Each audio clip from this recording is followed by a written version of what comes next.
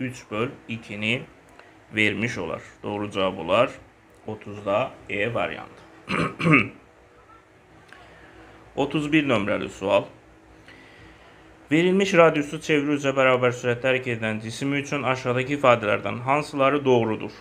Verilmiş radiusu çeviri üzrə bərabər sürətdə hərəkət edən. Cismə təsir edən qüvvələrin vəziyyəti 0 olur. Xeyr, 0 olmur çeviri üzrə hərəkətdə.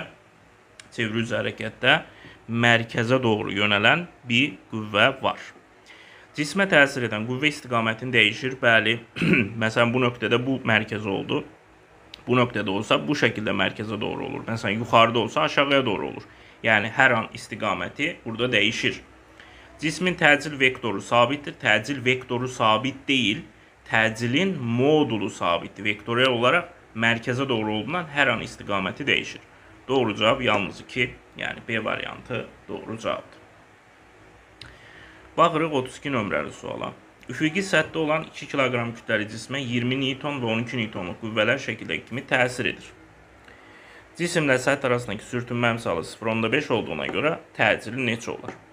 Əvvəlcə bu cismə təsir edən bir sürtünmə qüvvəsini təyin edək. Sürtünmə qüvvəsinin düsturu nə idi? Mü n. İndi bu cismə aşağıya doğru bir ağırlıq qüvvəsi 20 newton çəkir. Bir də aşağıya doğru 12 newtonluq bir qüvvə var. Demək ki, reaksiya qüvvəsi buradan 32 newtonu vermiş olur. E sürtünmə əmsalı 0.5 olduğundan bu 0.5 vur 32 olar.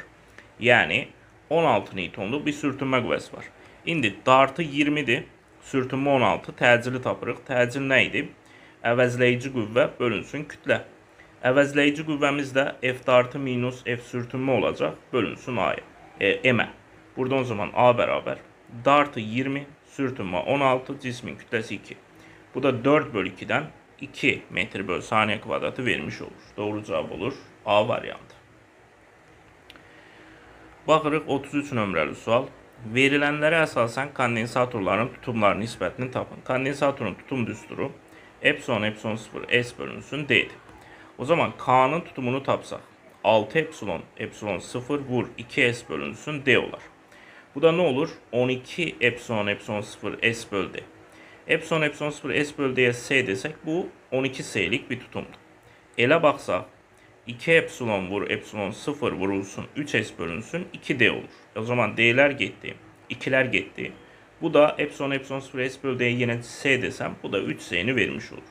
Buradan SK'nı S ile bölsem 12 S'ni 3S'ye böleceğim. Bu da 4 vermiş olacak. Doğru cevap 33'te olacak.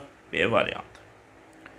34 bir astronovat yerdən aya getdikdə kütləsi və çəkisi necə dəyişər? Kütlə dəyişməz. Yerdə kütlə nədirsə, ayda da çək kütləsi o olacaq. Kütləsi dəyişməz olmalıdır.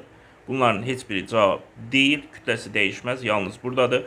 Çəkisi isə azalır. Çünki P bərabər mc-yə əsasən ayda J-nin qiyməti azaldığından çəki də azalar. Doğru cavab 34-də olur. E variantı.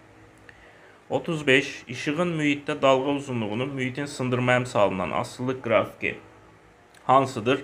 E, lambda sındırma əmsalı ilə demişik tərs mütənasib asıdır. Doğru cavab C variantıdır.